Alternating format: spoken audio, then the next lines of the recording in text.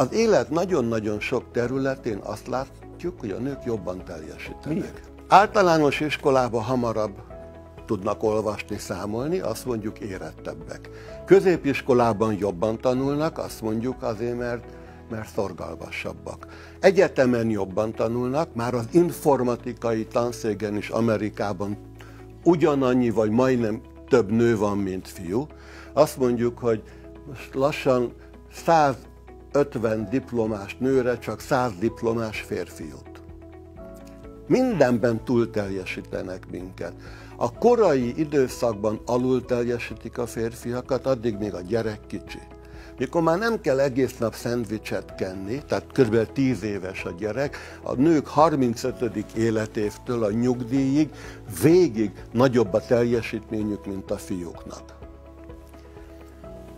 Van egy, akit én nagy évtizedek követek, Zenger Folkman. Sok tízezer vezetőt vizsgáltak. És van egy skálájuk 16 vezetői tulajdonság. Döntésképes, képes egy csapatot építeni, kommunikálni, mennyire innovatív, mennyire kezdeményező, képes tanítani a körülötte lévőket. Kiderül, hogy a 16 fontos vezetői tulajdonságból 14-ben a nők jobbak. Szignifikánsan jobbak, mondjuk 12-ben. Hallgasd Gyurcsány Ferenc podcastjét Spotify-on és YouTube-on.